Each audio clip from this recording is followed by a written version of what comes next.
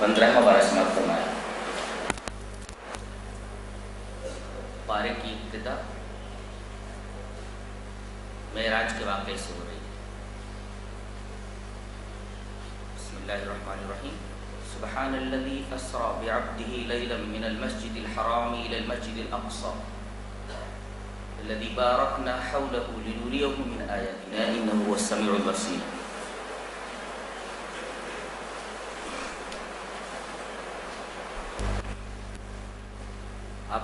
मालूम है कि अल्लाह ताला ने मेराज में अपने नबी जनाब मोहम्मद रसूलुल्लाह सल्लल्लाहु अलैहि वसल्लम को अपने पास बुलाया। और अपनी बड़ी बड़ी निशानियाँ दिखाई। जैसा कि सूर्य नजम में है। हमने आपको इसलिए बुलाया ताकि ये नूरियो मिन आया तिनकुबा हम अपनी बड़ी बड़ी निशानियाँ आपको दिखाएँ। दर हकीकत ये एक अजीब स्ट्रेंज एंड एक्सटेंट्रिक जो है, बिल्कुल एक्सेंट्रिक है। तो अजीब व गरीब सफ़र है ये। इस तरीके का सफ़र किसी इंसान ने कभी नहीं किया। और न कभी इतनी तेज रफ्तार सवारी के ऊपर कोई बैठा है। और न आज तक इतनी तेज रफ्तार सवारी बनी है। साइंस की इतनी तरक्की और डेवलपिंग के बाद।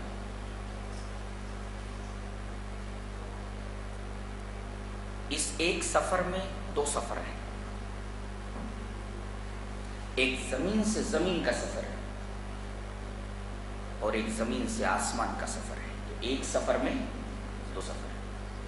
पहला सफ़र है मस्जिद हराम से लेकर मस्जिद अक्सा तक, जैसा कि इस आयत करीमा में सुबहानल्लज़ी असरा बिअब्दिही लैलन मिनल अक्सा। मस्जिद हराम से मस्जिद अक्सा तक, ये ज़मीन से ज़मीन का सफ़र है। और फिर आपने वहाँ नबियों की इमामत फरमाई और वहाँ से जो सफ़र आसमान का है, वो आसमान से ज़मीन का सफ़र है और उसको मेराज कहते हैं। ज़मीन से ज़मीन का जो सफ़र है, उसे इसरा कहते हैं और ज़मीन से आसमान का जो सफ़र है, उसको मेराज कहते हैं। इस एक सफ़र में दो सफ़र हैं। मजाजन इस पूरे सफ़र को मेराज कह दिया जाता है।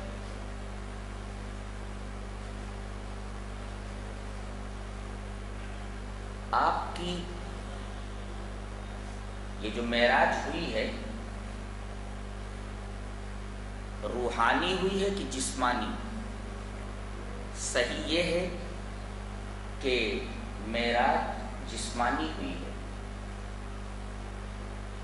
इसलिए कि यहाँ जितने भी अल्फाज इस्तेमाल किए गए हैं, सब मेराज जिस्मानी के ऊपर दलालत करते हैं। मसलन, सुबहाना। ये सुबहाना का लफ्ज़ ताजुब के लिए आता है। किसी गैर मामूली वाक़े को बयान करने के लिए आता है। तो अगर ये ख्वाब में मेराज हुई है तो लफ्ज़ सुबहाना लाने की ज़रूरत नहीं थी। इसलिए कि ख्वाब कोई गैर मामूली वाक़ नहीं है। इससे ये पता चलता है कि नबी करीम सल्लल्लाहु अलैहि वसल्लम को मेराज जिस्मानी हुई है, इसी वजह से लफ्ज़ ताजुब सुबहाना लाया गया। दूसरे, असरा। उसने सैर कराया। सैर, बदन और रूह दोनों के मुरक्कब के साथ होता है। हमने रूह को सैर कराया, ऐसा नहीं बोला जाता। इसी तरह, बेअब्द ही अपने बंदे को, अपने बंदे को तो बंदा सिर्फ़ रूह को नहीं कहा जाता। रूह और बदन के मुरक्कब का नाम बंदा है। तो ये लफ्ज़ अब्द भी दलील है इस बात की कि आपको मेराज जिस्मानी हुई। और मिनल मस्जिद हराम मिनल मस्जिद अक्सा।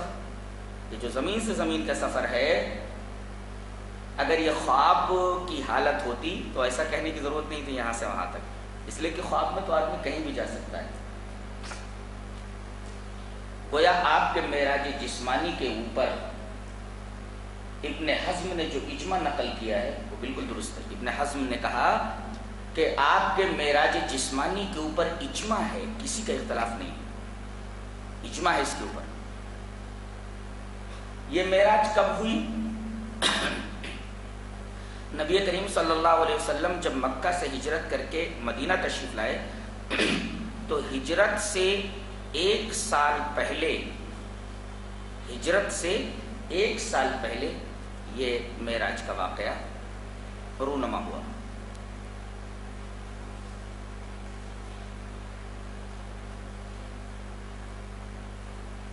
रात के एक हिस्से में इतना लंबा सफ़र तय करा दिया गया।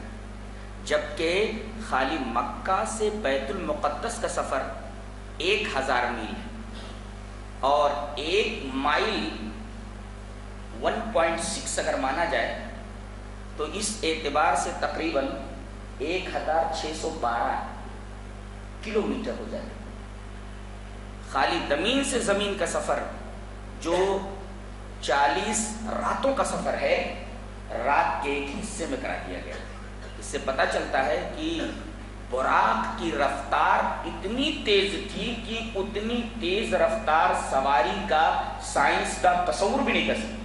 बनाना तो दूर की बात और हमारे नबी को उसी अजीब गरीब सवारी के ऊपर मेराज कराई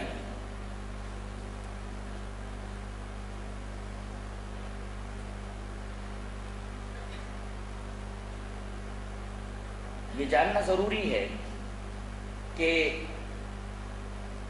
इस सूर्य करीमा का नाम बनी इसराइल है। लेकिन मेराज के वाक़े से इस सूर्य करीमा की इब्तदा हो रही है। वजह वजह यह है कि बनी इसराइल का गहरा ताल्लुक उम्मत मुस्लिमा से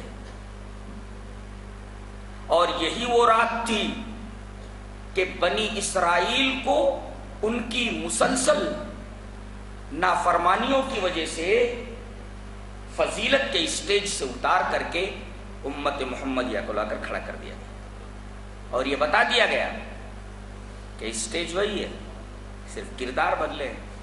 अगर वही हरकतें जो यहूद ने की हैं, अगर तुमने भी की तो तुम्हारे अंदर कोई सुरखाब कपर नहीं लगा हुआ है। हम तुम्हारे साथ भी वही करने वाले हैं जो यहूदियों के साथ हुआ है। स्टेज वही है, सिर्फ़ किरदार बदले इसी रात को यहूदियों को फजीलत के स्टेज से उतार दिया गया। अल्लाह तबारक ने उन्हें तमाम जहानों में फजीलत दी थी। या बनी इसराइल हमने बनी इसराइल को जहानों में फजीलत अता फरमाई उस फजीलत के स्टेज से इसी रात को उन्हें उतार दिया गया।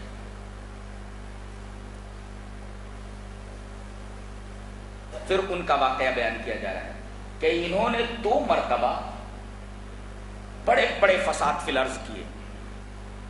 फसाद फिल अर्ज़ का मतलब होता है अल्लाह तबारक व ताला की बगावत और इतनी बड़ी बगावत कि मामूली आदमी उस तरीके की सरकशी और बगावत की जसारत नहीं कर सकता।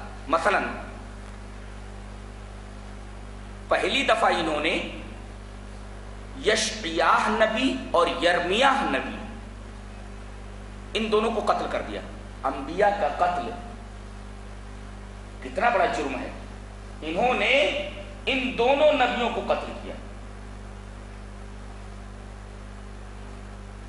ये अल्लाह की नाफरमानी में इतना आगे निकल गए थे कि इन्होंने नबियों तक को कत्ल करने में हिचकिचाहट महसूस नहीं की और दो नबियों को इन्होंने कत्ल कर दिया।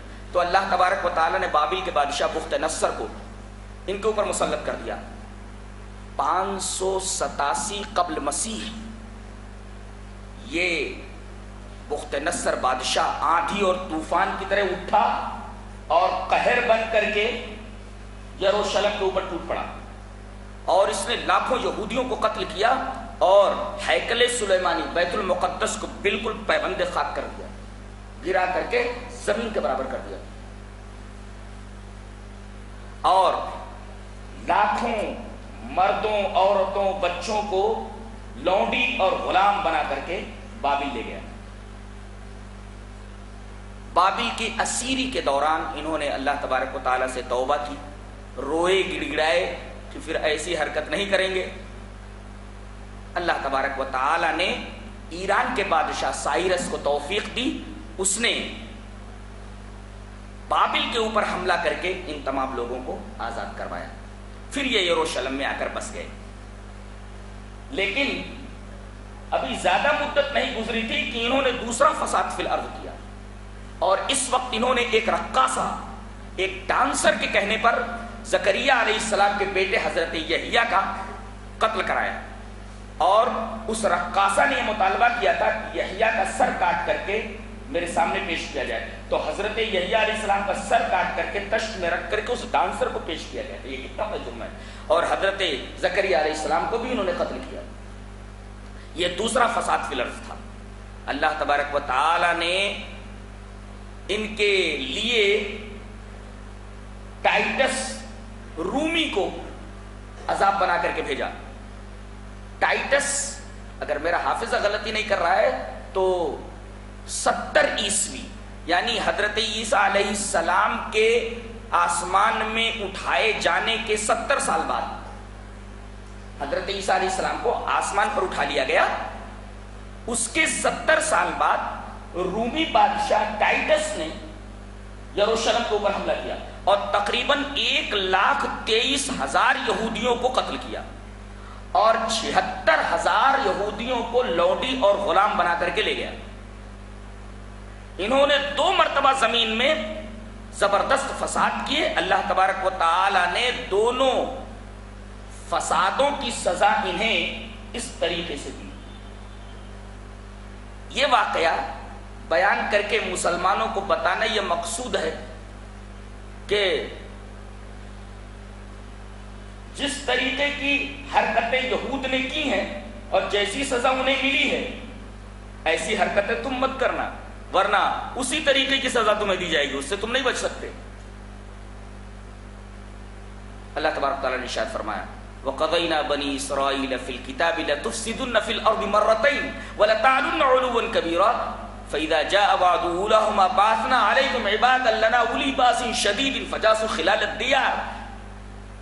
जब पहली मर्तबा फसाद किया तो हमने अपने बंदों को इनके ऊपर मुसल्लत कर दिया, वो इनके घरों में घुस गए। इनकी आबरू महफूज नहीं रही, इनकी नामूस महफूज नहीं रही, इनके घर महफूज नहीं रही, इनकी जाने महफूज नहीं रही, इनके अमवाल महफूज नहीं रहे। इनका दयार महफूज नहीं रहा। अल्लाह तबारक ताला ने अपने ताकतवर बंदों को इनके ऊपर मुसलत कर दिया। और दूसरी मरतबा जब इन्होंने शरारत की तो सिर्फ़ यही नहीं हुआ कि इनको कत्ल किया गया और बकिया को लौड़ी और गुलाम बनाया गया। बकिया वलियत खुलुल मस्जिद कमा दखलू। मस्जिदों को अस्तबल बना दिया गया। मस्जिदों को अस्तबल बना दिया गया। मस्जिदें दर हकीकत, ये हमारा रूहानी मरकज है। मस्जिदें अगर ढा दी जाएँ तो हमारा रूहानी मरकज गिर जाने की वजह से अल्लाह तबारक व से जो हमारा ताल्लुक है, कट जाता है। और इंसान कटी पतंग की तरह हो जाता है। तो गोया, अपने बुरे करतूतों की वजह से न सिर्फ़ ये कि खुद अपने आप को लोग नुकसान पहुंचाते हैं, बल्कि उसका असर इबादत गाहों के ऊपर भी पड़ता है। लोग आते हैं और इबादत गाहों को उठा देते हैं। और अल्लाह तबारक ने मुसलमानों को ये वार्निंग दी है कि तुम यहूदियों जैसी हरकत मत करना, वरना जिस तरह जालिमों को उनके ऊपर मुसलत कर दिया गया और उन्होंने यहूदियों की ईट से ईट बजा दी, ऐसे ही तुम्हारे ऊपर भी जालिमों को मुसलत कर दिया जाएगा। फिर न तुम महफूज रहोगे, न तुम्हारे माल महफूज रहेंगे, न तुम्हारे घर महफूज रहेंगे, न तुम्हारी आबरू महफूज रहेगी, न तुम्हारे बाल बच्चे महफूज रहेंगे और न तुम्हारा रहाइश का मकाम महफूज रहेगा, न तुम्हारी इबादतें महफूज रहेगी। अगर तुमने यहूदियों के अमल दोहराए तो जैसे उनके ऊपर जालिमों को मुसलत कर दिया गया था, उन्होंने उनकी ईट से ईट बजा दी, इसी तरीके से जालिमों को तुम्हारे ऊपर मुसलत कर दिया जाएगा और वो तुम्हारी ईट से ईट बजा देंगे। इबरत के लिए अल्लाह तबारक वाली ने यहूदियों के इन दो वाकयात को पेश फरमाया। उसके बाद अल्लाह ने यह इर्शाद फरमाया कि इंसान जो कुछ करता है, उसका नाम अमाल उसके गर्दन में लटका दिया जाता है। वकुल्ल इंसान अलजमना उनुक माने गर्दन उसके गर्दन में उसके नाम अमल को लटका दिया जाता है मंशूरा कयामत के दिन हम वो नाम अमल उसकी गर्दन से उतार लेंगे और फैला देंगे कि पढ़ अब आप सवाल करेंगे कि अगर लटका हुआ है गर्दन में तो दिखाई क्यों नहीं देता अगर दिखाई दे तो फिर इम्तिहान का मकसद फौत हो जाएगा उसके बाद ये फरमाया गया कि हम किसी कौम को उस वक्त तक अजाब नहीं भेज, में मुबतला नहीं करते, जब तक के हम उसके पास कोई रसूल न भेज दें, बताने वाला न भेज दें। उमा कुन्ना मुआजबीन नबासा रसूला, हम किसी बस्ती को उस वक्त तक हलाक नहीं करते, जब तक कि हम वहाँ किसी रसूल को भेज करके उन्हें मुतनबे न कर दें। और जब नहीं मानते तो हम उनके ऊपर अदाब नाजिल कर देते हैं। और अदाब की सुन्नत जारिया ये बताई गई कि वहीदा अरदना अन्नुहलिका करियतन अमरना मुतरफीहा फफसकूफीहा फहक्का तदमीरा। हमारे अजाब की सुन्नत जारिया यह है कि जब हम किसी बस्ती को हलाक करना चाहते हैं तो वहाँ के जो मुतरफ लोग होते हैं, मालदार लोग होते हैं, वो फिस्को फजूर में लग जाते हैं। और उनकी देखा देखी गरीब लोग भी उसी ढर्रे के ऊपर लग जाते हैं। नतीजा ये होता है कि हमारा अजाब उनके ऊपर आता है फतम मर्रा तदमीरा, हम उनकी ईंट से ईंट बजा देते हैं। यह है, अल्लाह तबारक के आज़ाब की सुन्नत जारी है। पहले, मालदार और बड़े लोग फिस्को फजूर में मुबतला होते हैं।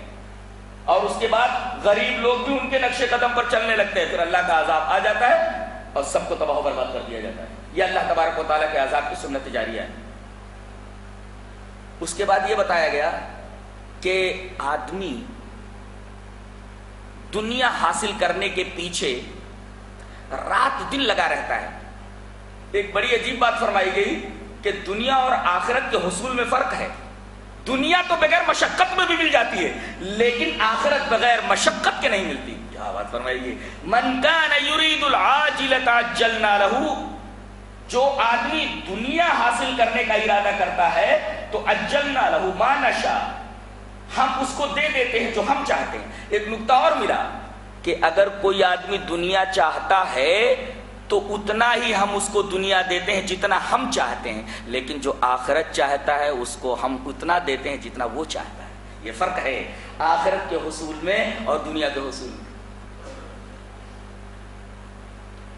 कि जो आदमी दुनिया चाहता है तो उसे उतना ही मिलता है जितना हम चाहते हैं। लेकिन जो आदमी आखरत चाहता है, उसको हम वो देते हैं, उतना देते हैं जितना वो चाहता है। ये फ़र्क है आखरत के हसूल और दुनिया के वसूल में। और एक नुकता और बताया गया कि मनकाना यूरीदुल आजिला, के दुनिया तो बगैर मशक्कत में भी मिल जाती है। मसलन, बाप बहुत मालदार था, इतनी प्रॉपर्टी छोड़ करके मरा है कि बेटे को अब कुछ हाथ पैर हिलाने की ज़रूरत नहीं है। आराम से उसकी पूरी ज़िंदगी कट जाती है। तो दुनिया बगैर मशक्कत के भी मिल जाती है, लेकिन आखिरत बगैर मशक्कत के नहीं मिलती। वमन अरादल आखिरत वसाल हसाया आखिरत के साथ कोशिश को लगा दिया गया है कि बगैर मशक्कत के, बगैर मेहनत के आखिरत हासिल होने वाली नहीं है। उसके बाद एक और नुकता बताया गया। क्या? कि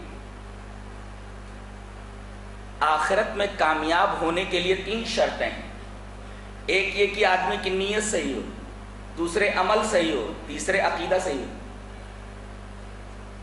नीयत सही हो, दूसरे अमल सही हो और तीसरे अकीदा सही हो।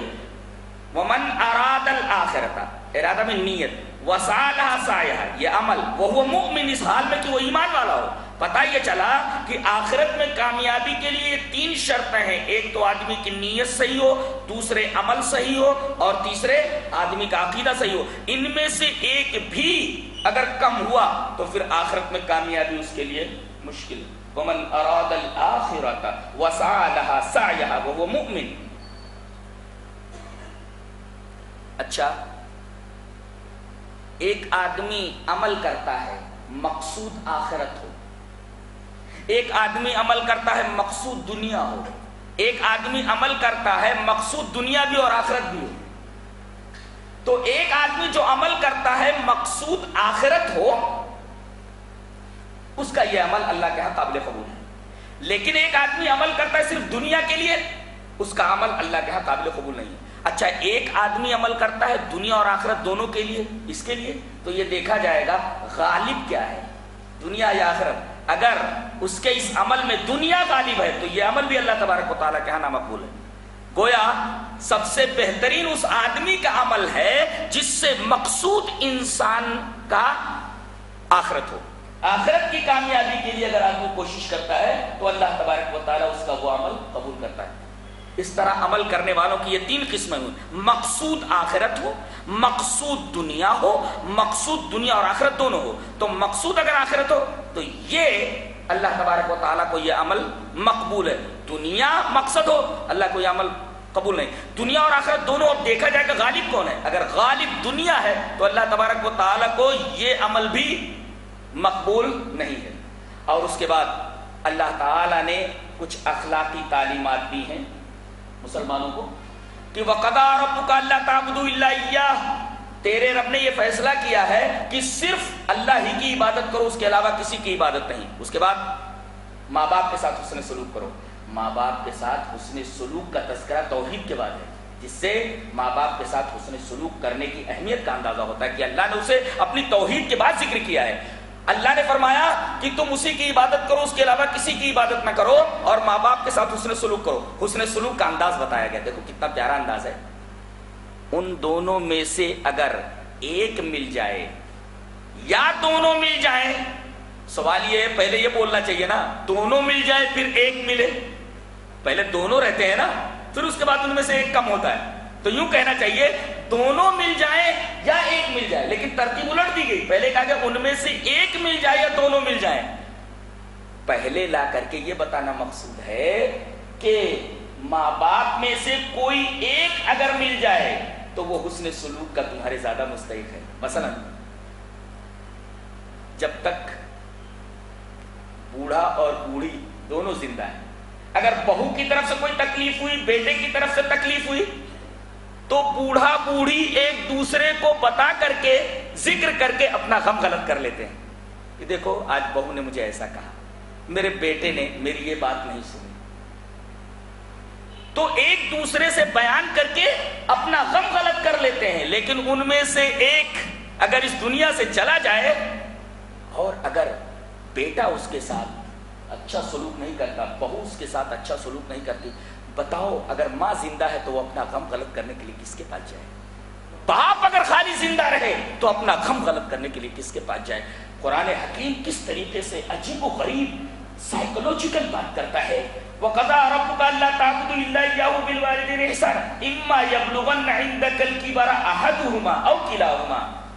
उनमें से एक मिल जाए अगर एक मिले तो तुम्हारे हुसन सुलूक के ज़्यादा मुस्तक है। इसलिए कि कोई बात बेटे ने कह दी, कोई बात बहू ने कह दी, अब ये अपना खम बयान करने के लिए किसके पास जाए?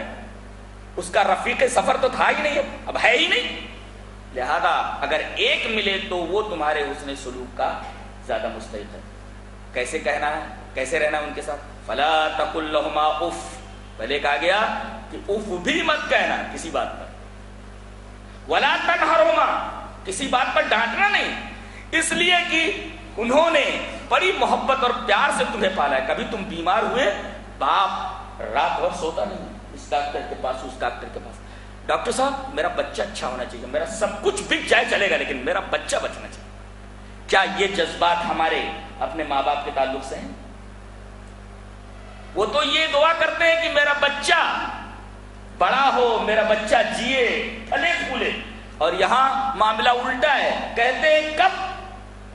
इस दुनिया से ये चले जाए खस कम जहाँ पाक खांसते रहते हैं, बोलते रहते हैं, उल्टा पलटा करते रहते हैं। कब ये दुनिया से चले जाए? ये फ़र्क हो जाता है सोच का। ये फ़र्क हो जाता है आदमी के विचार का और उसकी फ़िक्र का। बच्चा है गोद में, बाप के। अब्बा, ये क्या है? पंखा है। फिर पूछते हैं, अब्बा, ये क्या है? पंखा है बेटा। अब्बा, ये क्या है? बोले, पंखा चाहिए बेटा। ले आता हूँ खरीद कर माँ बाप बोले, बेटा, चाय नहीं आई है अभी। आ जाइए, अब्बा, आ बेटा, चाय नहीं आई। आ जाइए, अब्बा, आ बेटा, चाय नहीं। क्यों बार बार आप उसी बात को दोहरा रहे हैं? चाय आ जाएगी ना? ये ये फ़र्क है।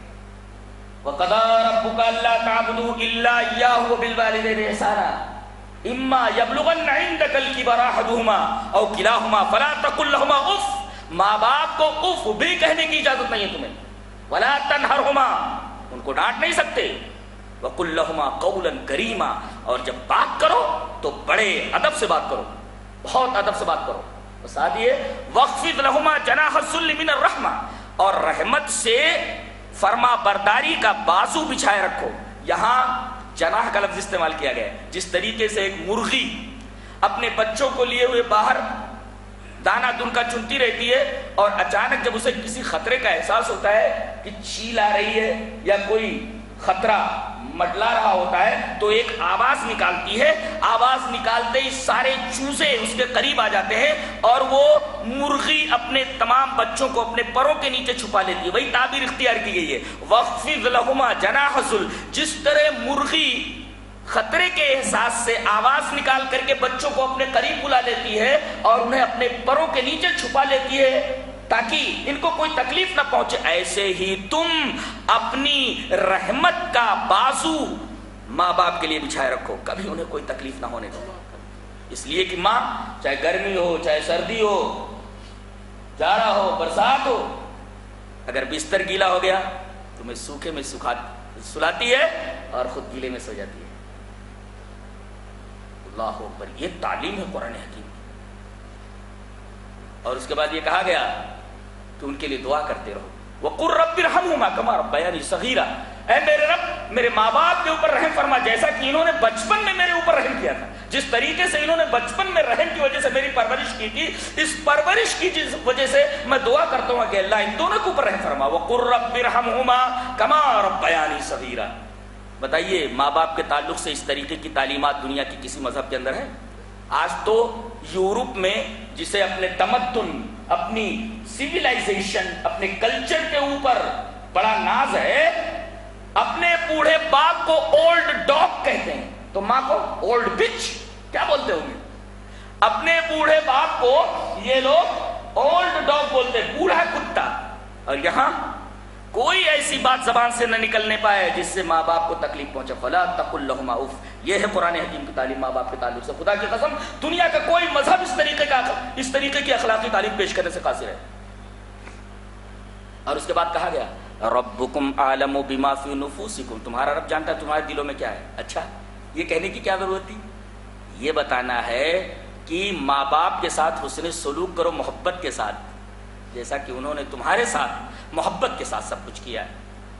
दुनिया को दिखाने के लिए नहीं बाज लोग कहते हैं कि अगर माँ बाप के साथ अच्छा सलूक ना करें तो दुनिया वाले कहेंगे बड़ा नाफरमान, बड़ा गया गुजरा बेटा है। तो बाज लोग दुनिया के खौफ से अपने माँ बाप के साथ उसने सलूक करते ना रब आलम माफ़ी क्या साइकोलॉजिकल तालीम है, क्या साइकोलॉजी है देखिए। अल्लाह जानता है तुम्हारे दिलों में क्या है। यानी माँ बाप की खिदमत जो कर रहे हो, दुनिया को दिखाने के लिए दुनिया की वजह से कर रहे हो, या सच में मोहब्बत और रहम के जज्बे से कर रहे हो? दर हकीकत उन्होंने मोहब्बत और रहम के जज्बे से तुमको पाला है, लिहाजा उनके साथ उसने सलूक, रहम मोहब्बत के जज्बे से होना चाहिए। हर जजाउल एहसान एहसान एहसान का बदला एहसान से होना चाहिए। तुम बच्चे थे तो उन्होंने तुम्हारा बचपन संभाला। अब वो बच्चे हो गए, तुम उनका बचपन संभालो। हल जजाउल एहसान एहसान। एहसान का बदला एहसान से देना चाहिए। तुम बच्चे थे तो माँ बाप ने तुम्हारा बचपन संभाला। अब वो दोनों बच्चे हो गए। अब तुम्हारे ऊपर ये फरीजा आयद होता है कि तुम उनका बचपन संभालो। तो फला तकुल्लहुमा उफ माँ बाप को उफ भी न कहो, वला हुमा उनको डांटो नहीं वकुल्लहुमा कौलन करीमा, बड़े अदब से बात करो, और उनके लिए रहमत से खाकसारी का, आजजी का, इनकसारी का बाजू बिछाए रखो, और उनके लिए दुआ करते रहो कि अल्लाह मेरे माँ बाप के ऊपर रहम फरमा, जैसा कि उन्होंने बचपन में मेरी परवरिश की थी, और अपना सब कुछ मेरे पीछे लगा दिया था। एक बाप किसान मजदूरी करके अपने बच्चे को पढ़ाता है। लेकिन यही बच्चा जब किसी ओहदे पर पहुँच जाता है और जब शादी हो जाती है, उसके बाद इसकी हरकतें देखो, अपने बाप कितनी और अपने, अपनी माँ उसके बाद ये कहा गया, वाला तकरबुजना इनका नफाहिश जना के करीब भी बच जाओ। जना करना तो दूर की बात है, जना के करीब भी मत जाओ। अब जना के करीब ले जाने वाली हर चीज़ हराम हो गई। फ़िल्में देखना इसलिए कि ये चीज़ जना के करीब ले जाने वाली है। ऐसी जगह जहाँ मर्द और औरत दोनों बेहिजाबाना मिलते हो, आजादाना इख्तलाफ हो मर्दो जन का, दर हकीकत ये भी जना को उभारने वाली चीज़ है। ऐसी जगहों पर मत जाइए। फहश लिटरेचर है, जिससे आदमी के नफ्स के अंदर हैजान पैदा होता है, उरिया तस्वीरें हैं, ये तमाम चीज़ें वाला तकरब जना के दायरे में आ रही जना न करो, ऐसा नहीं कहा गया, बल्कि जना के करीब भी मत जाओ। जना करना तो छोड़ो, दवाइए जना के भी करीब न जाओ। जो जना के असबाब उनके भी करीब न जाओ। उसके बाद अल्लाह तबारक वाली ने बास बादल मौत पर एक बहुत प्यारी दलील दी है। वकालू ईदा कुन्ना इज़ाम व लमबूसून खलकन जदीदा। जब हम मर जाएँगे और सड़ गल करके मिट्टी हो जाए तो क्या दोबारा हमें नए सिरे से उठाया जाएगा? ये तो न समझने वाली बात है। अल्लाह तबारक ने फरमाया कि देखो, तुम पैदा किससे होते हो? नुतफे से। और नुतफा क्या होता है? ये बदन के हर हिस्से से निकलने वाले मादे का खुलासा होता है। गोया पूरे बदन से निकलने वाले मादे का खुलासा होता है। तो ऐसे ही जब तुम मर जाओगे, तुम्हारे अज्जा बिखर जाएँगे तो इसी तरीके से तुम्हारे अज्जा को इकट्ठा करके हम तुम्हें दोबारा ज़िंदा करेंगे। और उसकी मिसाल अगर देखनी हो तो मैंने एक मिसाल पढ़ी है कि एक मेढक ले लो, मेढक मेढक को मार दो। मर गया मेढक या मरा हुआ मेढक, उसको सुखा लो। उसको सुखा लो। जब एकदम सूख जाए तो उसको पीस लो। पीसने के बाद उसे किसी बर्तन वगैरह के अंदर रख लो। जब बरसात का मौसम आए तो कहीं मिट्टी वगैरह हो, वहाँ वो इसके जो अज्जा है मेढक के वहाँ डाल दो। एक एक जर्रे से एक एक मेढक बन करके निकल जाएगा। बास बादल मौत को अगर अपनी आँखों से देखना है तो ये करके देखो।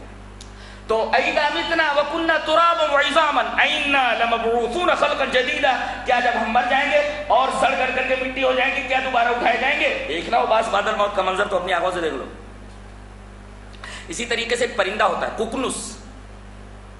ये ज़िंदगी में एक बार बोलता है, एक बार गाता है। और मरने से पहले ये लकड़ियाँ जमा करता है। और जब बोलता है तो आग लग जाती है लकड़ियों उसी में जल करके मर जाता है। और उसके एक एक जुज से पानी पड़ने के बाद एक एक कुकनुस पैदा होता है। ये बास बादल मौत की एक और दलील है, अगर आप देखना चाहें तो देख सकते हैं। उसके बाद ये फरमाया गया योमनदुल्कुल्लुना सिंबे इमामहिम उस दिन यानी कयामत के दिन हम लोगों को उनके इमाम के साथ बुलाएँगे। इमाम के साथ बुलाएँगे। कोई किसी इमाम के पीछे होगा, कोई किसी इमाम के पीछे होगा, कोई किसी इमाम के पीछे होगा। बड़े खुश नसीब हैं वो लोग जिन्होंने जनाब मोहम्मद को अपना इमाम माना है। आगे आगे जनाब मोहम्मद पीछे पीछे। आपके मुख्तदी आपके पीछे चलने वाले। यौमा जनाब मोहम्मद रसूलुल्लाह आगे आवाज़ आएगी कि आपको इमाम मानने वाले लोग आपके पीछे आ जाए। कितने खुश नसीब होंगे वो लोग जिनके इमाम कयामत के दिन जनाब मोहम्मद होंगे। कयामत के दिन हम तमाम लोगों को उनके इमाम के साथ बुलाएँगे।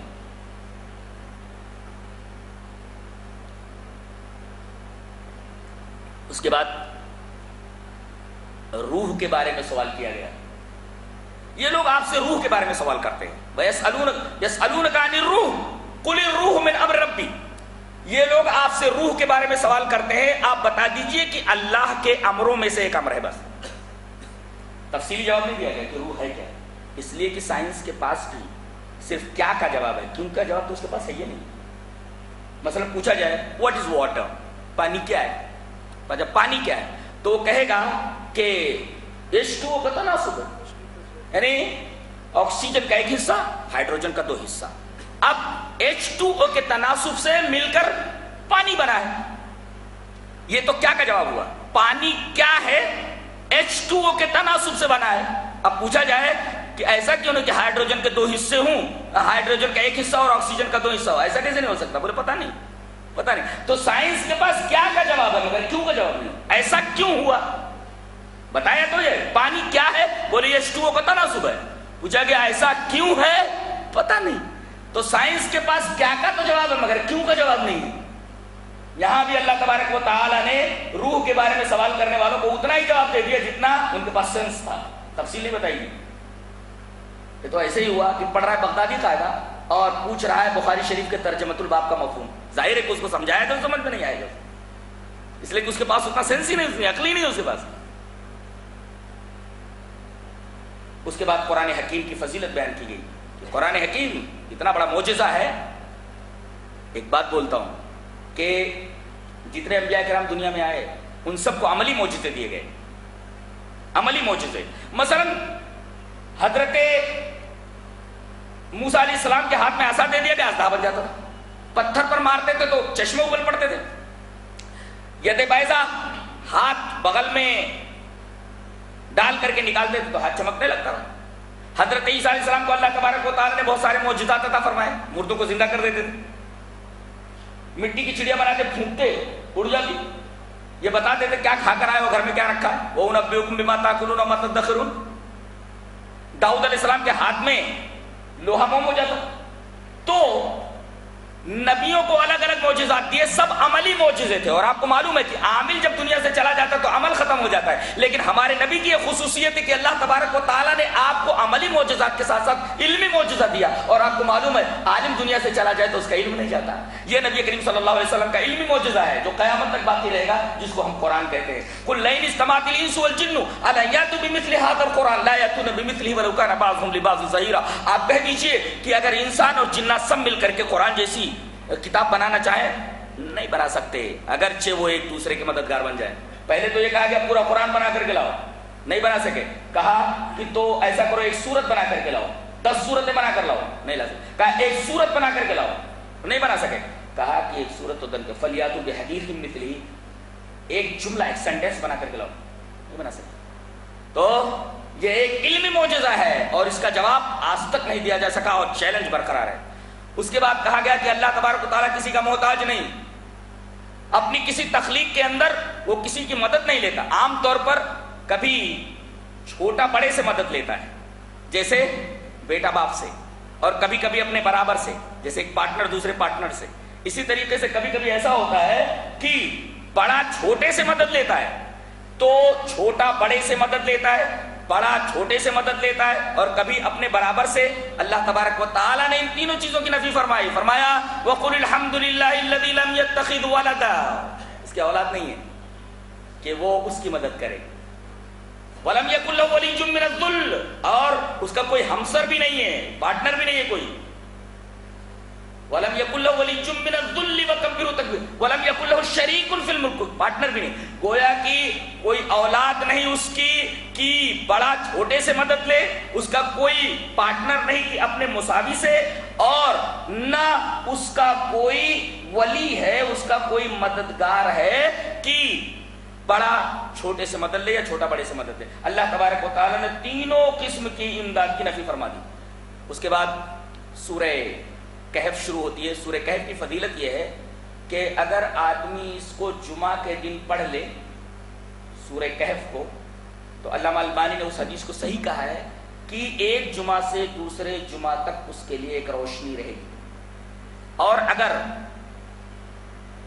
इस सूर्य करीमा की इब्तदाई दस आयात और बाद की दस आयात को कोई हिस्स कर ले, याद कर ले, बराबर पढ़ता रहे तो दज्जाल के फितने से महफूज रहेगा। इब्तदाई दस आयात और बाद की दस आयात। और अगर कोई जुमा के दिन सूर्य करीमा की तिलावत करे तो उसके लिए दूसरे जुमा तक एक रोशनी रहेगी।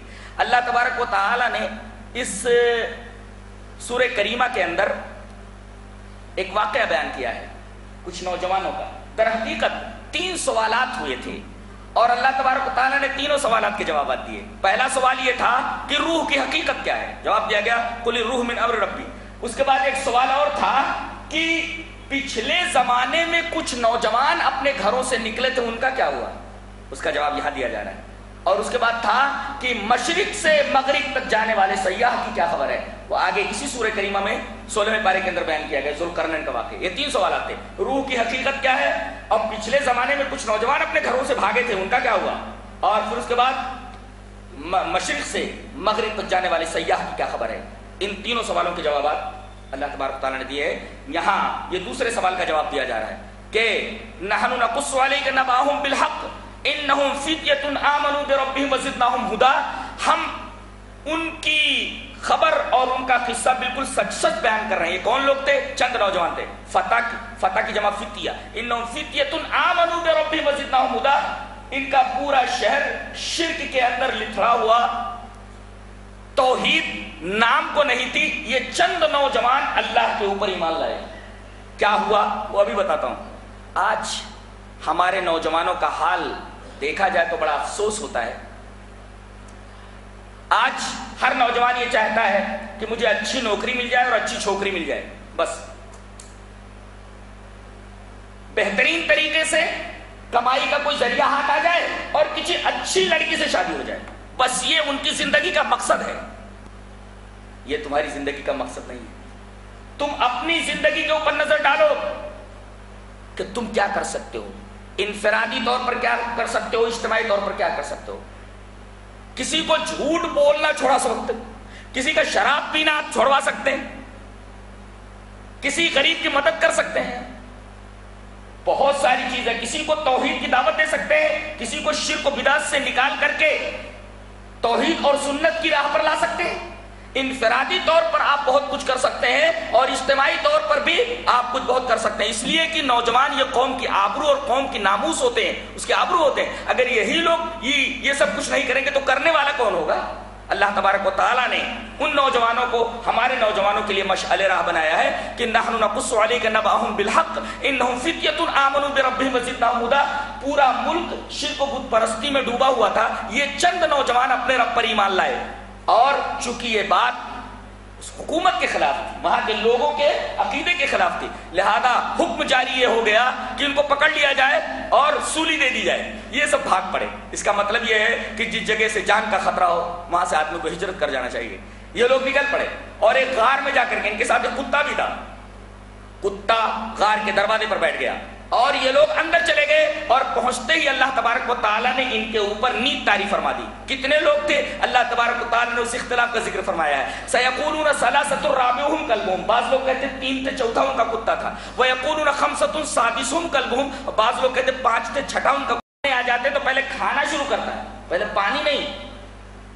खाना खाने से पहले पहले पानी तलाश करता है। उसके बाद खाना तलाश करता है। और जब खाना और पानी दोनों सामने आ जाए तो खाना पहले खाता है पानी बाद में पीता है। तो अल्लाह तबारक को ताला ने पहले नहर जारी फरमाई और उसके बाद कहा कि वो दरख्त जाकर के हिला टुंड मुंड दरख्त वहाँ से खजूर गिरेंगे। खजूर गिरे, ये खाने का इंतज़ाम हुआ। लेकिन जब खाने के लिए बैठी, फकुली वश रवि पहले खा, उसके बाद पी। ये तरतीब है। ऐसी तरतीब नहीं पहले पी और खाओ। ऐसा होता है कि खाओ और पियो। पी के खाओ या खा के पियो, ऐसा नहीं है। पहले इंतज़ाम किया, अल्लाह ताला ने पानी का, फिर उसके बाद खाने का। लेकिन जब खाने के लिए बैठे तो कहा, खाओ, उसके बाद पियो। फकुली बशरबी वो कर्री आईना फईम मतरईना मिलल बशरी आदा। अच्छा इससे पता ये चला कि डिलीवरी के बाद खजूर देना चाहिए।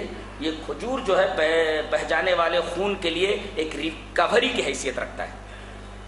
अब बच्चे को लिए हुए आगे बढ़ने लगी, कौम की तरफ़ परेशान है। अल्लाह तबारक ने कहा कि तुम मुँह से कुछ मत बोलना। इसी बच्चे को बोलने देना। और कह देना, फल कली मलियों में, इंसिया, मैंने रोजा रखा हुआ है और मैं किसी इंसान से बात नहीं करूँगी। फलन कली मलियों में, इंसिया, मैं बात नहीं करूँगी। अब लेकर के जब कौम के पास आई फ़ातत बिही कौमहा तहमिलु, कालू या मरियम लकजीत शयन फरिया, या उख्त हारून माकान अबूकुम रासवी माकान तुम के ये देखिए, ये कौम है। कौम के पास जब उस बच्चे को लेकर के आई, कहा कि मरियम, तूने क्या कर डाला है ये? तूने बहुत बुरा काम किया। ए मरियम, तेरा भाई बहुत या उख्त हारून है, हारून की बहन। तेरा बाप बदकार नहीं था, तेरी माँ बदकार नहीं थी। ये तूने क्या किया? पहले यहाँ बहन का हवाला दिया गया, भाई का। या उख्त हारून ए हारून की बहन। इन्हें कहा कि फला की बेटी। इसका मतलब यह है कि बहनों की निगरानी के लिए भाइयों को मुकर्र किया गया है। बाप तो भी चला जाता है। माँ घर के काम काज में रहती है। बहन के ऊपर निगाह कौन रखेगा? पहला हक, पहली ज़िम्मेदारी भाइयों की है कि वो अपनी बहनों के ऊपर निगाह रखें। या उख्त हारून अय हारून की बहन, पहले भाई का हवाला दिया गया। तुम बहन हो किसी की। इसका मतलब यह हुआ कि भाइयों की ज़िम्मेदारी है कि वो बहनों के ऊपर निगाह रखें। अगर स्कूल जा रही हैं, गाड़ी से छोड़ करके आए और उसके बाद निगाह रखें, फ़ोन पर। कहा है तू? इस वक्त छुट्टी हुई। किधर है? मैं गाड़ी से लेने के लिए आ रहा हूँ।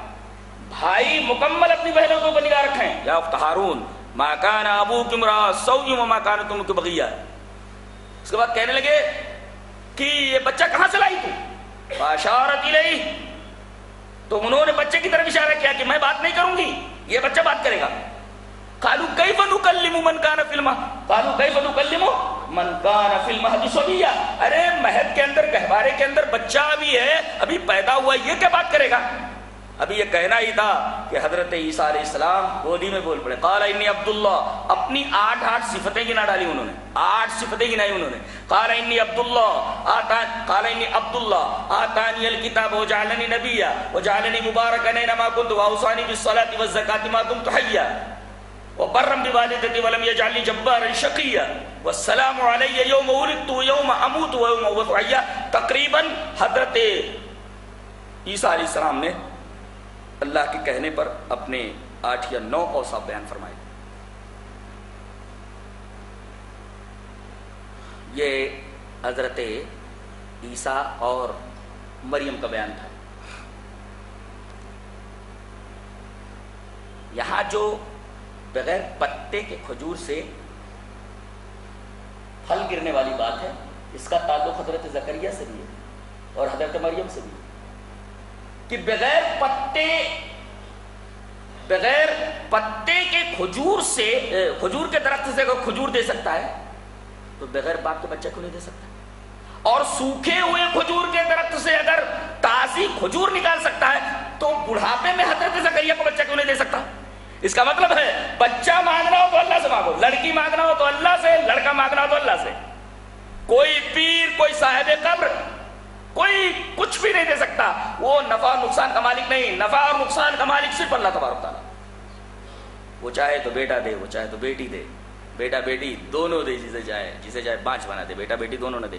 कोई साहेब कब्र, कोई पीर उसके मामले में टांग नहीं आ सकता दखल नहीं कर सकता।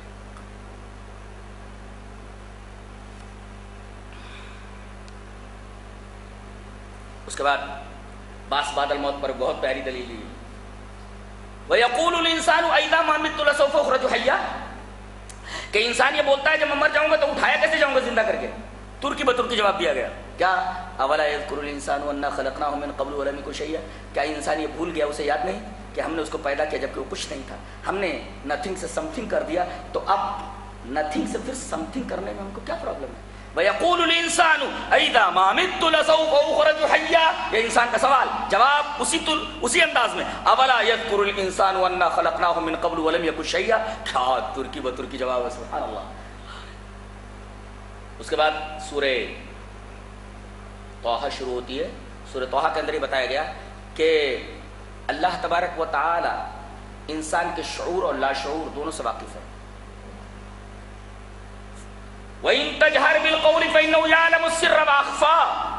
अगर तुम ज़ोर से भी बोलो तो अल्लाह तबारक वो ताला तुम्हारे सिर को भी जानता है, तुम्हारे अखफा को भी जानता सिर से मेरा शूर कॉन्शियंस और लाशूर से भी वाकिफ है। आदमी के लाशूर में क्या है, उसे मालूम नहीं। आदमी के शोर में क्या है, उसका तो इल्म है उसे। लेकिन आदमी के लाशोर में क्या खुद आदमी को भी मालूम नहीं। अल्लाह तबारक फरमाता है, हम आदमी के शोर से भी वाकिफ है, और आदमी के लाशोर से भी वाकिफ है। शूर में क्या है और लाशूर में क्या है? सबका इल्म हमारे पास है। और कहा कि हम दुनिया की किसी चीज़ में नहीं है। हम अर्श पर मुस्तवी हैं। और रहमान अर्शिस्तवा रहमान अर्श के ऊपर मुस्तवी है। लोग कहते हैं, इसमें मौजूद है, उसमें मौजूद है, उसमें मौजूद है। ये वेदांत का फलसफा है और ये सूफिया का अकीदा है। अल्लाह तबारक वाली अर्श पर मुस्तवी है, अपने इल्म के एतबार से हर जगह मौजूद है वो। उसका इल्म हर जगह मौजूद है। वो अर्श के ऊपर मुस्तवी है। उसके बाद हज़रत हारून सलाम का वाक़ और सामिरी का वाक़ बयान किया गया।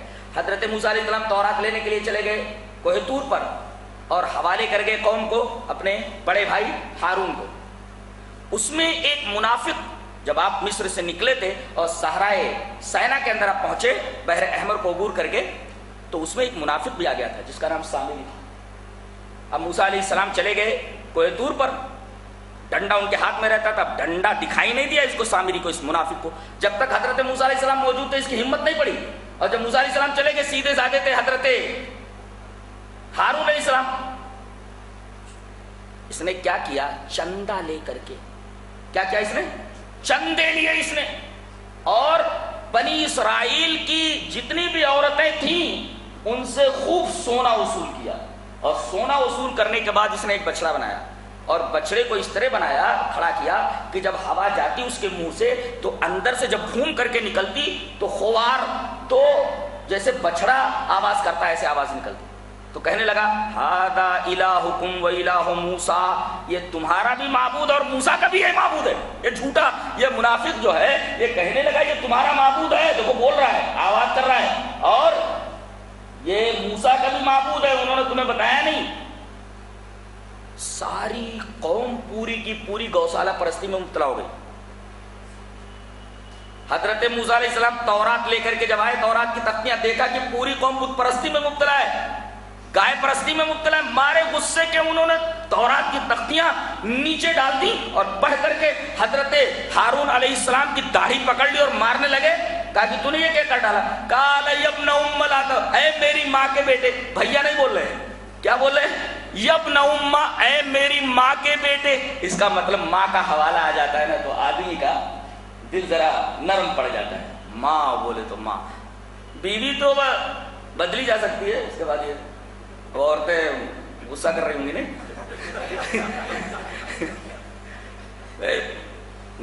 वैसा होना चाहिए कि भाई बिला ज़रूरत, आदमी तलाक नहीं दे सकता, मोहब्बत होती है मियाँ बीवी के दरमियान। लेकिन बीवी दूसरी आ सकती है, माँ दूसरी नहीं आ सकती। और न वैसी कोई मोहब्बत दे सकता है। सारी मोहब्बतें बागरज होती हैं, माँ की मोहब्बत बेगरज होती है। कितना फ़र्क है माँ की मोहब्बत में और दूसरी मोहब्बत में। माँ का हवाला दे दिया एक नबी ने, काल उम्मा। भैया नहीं बोल रहे, भाई मुझे छोड़ दो। ए, मेरी माँ के बेटे, मेरी दाढ़ी मत पकड़ो, मुझे मारो ना। दुश्मनों को हंसने का मौका मत दो बोल रहे। अब दुश्मन ये कहेंगे, देखो, छोटा भाई बड़े भाई को पीट रहा है। छोड़ दिया उन्होंने। कहा कि क्या मामला है ये? मैं गया था और ये फितना कैसे खड़ा हो गया शिरक का? कहा कि ये सारा मामला सामरी का उस मुनाफिक का है। कहा कि बुलाओ उसको। सामरी लाया गया। काला फमा खत गया सामरी। सामरी, ये तेरा क्या मामला है? ये खड़ा क्या है? सब काला बसूर तो बिमालम यब शुरू भी कबस तो कब्ज तमीना करे सूरी फन बस तो अब कदाली का सवलत नफसी। कार से बेगार भली। कुछ काम वाम तो था नहीं। मेरे दिल ने एक मामला गढ़ा। इस तरह मैंने एक बछड़ा बनाया और लोगों से कह करके कि मैंने जब्राईल सलाम को देखा है और उनके घोड़े की टाप जहाँ पड़ती थी, वहाँ धूल के अंदर ज़िंदगी पैदा हो जाती थी, घास उगाती थी। मैंने वहाँ से वो मुट्ठी भर धूल उठाई और इस बछड़े के अंदर डालती देखो, बछड़ा बोलने लगा, ये मैंने अपनी तबीयत से, अपने दिल से ये बात कर ली थी। हालाँकि ऐसा कुछ भी नहीं था। ये सब ऐसे ही ढोंग धतूरे हैं पैसा कमाने के लिए। कहा कि अच्छा इसी के बारे में कहता था, ये तुम लोगों का महबूद है और मूसा का भी महबूद अब बताता हूँ मैं। लनु तुम इस महबूद को मैं जला देता हूँ और रेजा रेजा करके उसको समुद्र में बहा देता हूँ। और तेरा तेरा काला फला फाइन फाइन लगा फिर हयात और तेरी सजा ये कि तू तड़प तड़प करके मरेगा। जो भी तेरे करीब आएगा, तू यही कहेगा, अरे मुझे छोड़ touch me not, don't touch me, मुझे छूना नहीं, इसलिए कि जो छू लेता था, उसको भी बुखार हो जाता था, इसको भी बुखार हो जाता और इतना तगड़ा बुखार कि पड़ जाता था कहीं। तो कोई आदमी इसके करीब आता तो कहता लामी सांस और जो जरा शरारती किस्म के छोकरे होते, इसको दौड़ाते छूने के लिए। ये कुत्ते की तरह भागता रहता था। डोंट टच मी लामी सांस लामी सांस मुझे छूना नहीं, मुझे बुखार हो जाएगा। छूने वाले को भी बुखार हो जाता था, और इसको और इसको भी बुखार हो जाता था। ऐसे तड़प तड़प करके ये आदमी मर गया। यानी शिरक को फैलाने वाले और किसी कौम में ईजाद करने वाले की दुनिया भी सदा ये थी। रहा उसके महबूद का मसला, उसको जला करके जैसा कि हज़रत मूसा ने कहा था, उसका दरिया में फेंकवा दिया। आज सामरी के बहुत सारे परिस्तार हैं। कबर नहीं होती, बल्कि क्या करते हैं? अजमेर से या कहीं से, वहाँ बगदाद से कोई मिट्टी ले आते हैं। मिट्टी ला करके वो कब्र खोद करके मिट्टी को वहाँ डाल देते और एक कब्र बना देते। इसको कहते हैं छिल्ला शरीफ। गौ से पाक गौ से आज़म दस्तगीर का छिल्ला। दर हकीकत, ये सारे के सारे लोग सामरी के पैरोकार सामरी के नक्शे कदम पर चलने वाले लोग हैं, ये छिल्ला शरीफ वाले। इसलिए कि उसने बछड़ा शरीफ बनाया था। और वो मिट्टी शरीफ लेकर के उसके मुँह में डाला था। तो ये मिट्टी उसने डाली थी। आजकल लोग मिट्टी ला करके कब्र बना देते तो बेईनी वही सामरी ही का तरीका तो है। तो ये लोग सब सामरी की सुन्नत के मुत्तब हैं। सामरी की सुन्नत पर चलने वाले लोग। तो उसका यह अंजाम हुआ। उसके बाद बहुत प्यारी बात बताई जा रही है कि अल्लाह ताला ने इजाज़त दी थी शैतान को जन्नत में आने जाने की। हज़रत आदम और हवा जन्नत में रहते थे। आया। बहकाने लगा और बहका करके उन्हें निकलवा दिया। फिर अल्लाह ताला ने जन्नत की तारीफ़ फरमाई कि जन्नत क्या चीज़ है? फरमाया कि देखो, कहीं ये शैतान तुमको जन्नत से ना निकाल दे फतश का जन्नत फतश का तुम दोनों को जन्नत से न निकाल दे। तुम दोनों मशक्कत में पड़ जाओ, ऐसे नहीं कहा आदम, तुम मशक्कत में पड़ जाओ। इसका मतलब है मशक्कत करना। कमाना, ये मर्द की ज़िम्मेदारी है, औरत की ज़िम्मेदारी नहीं, वरना फतशकया कहा जाता है। तुम दोनों को जन्नत से न निकाल दे और तुम मशक्कत में न पड़ जाओ। वाहिद कैसे का लाया गया? जमीरे मुजक्कर भाई, यानी कमाने का फ़र्ज़ अदा करना है मर्द को, औरत कमाने के लिए नहीं जाएगी। फतशका के उसे मालूम हुआ। और इन नलका वाला तारा, जन्नत के अंदर तुम नंगे नहीं होगे, भूखे नहीं होगे। वान नकल्ला तस्मोफिया वाला तबहा न वहाँ आपको धूप लगेगी और न वहाँ आप प्यासे होंगे। आप देखिए, क्या तरतीब है कि भूख नहीं लगेगी जन्नत में। भूख नहीं लगेगी तो नेमतें काहे के लिए? दुनिया भर की नेमतें, भूख ही नहीं लगेगी तो नेमतें काहे के लिए? बताया गया ऐसी भूख नहीं जो तुमको तकलीफ़ दे। भूख लगेगी, वो नेमत फ़ौरन हाजिर ऐसी भूख नहीं जिससे तकलीफ़ हो। भूख लगी कि फ़ौरन वो चीज़ हाजिर हो जाएगी, जिस चीज़ का आप तस्वूर करेंगे। और इन लका तजुआ फिया वाला तारा वान नकल्ला तजमो फिया वाला तबहा से ये पता चला कि नान, नफका सुकना रोटी शोहर के जिम्मे खर्चा शोहर के जिम्मे मकान देना बीवी को ये शोहर के जिम्मे कमाना ये शोहर के जिम्मे गोया बाहर का दायरे कार ये मर्द का है और अंदरून खाना जो दायरे कार है, वो औरत का दायरे कार है।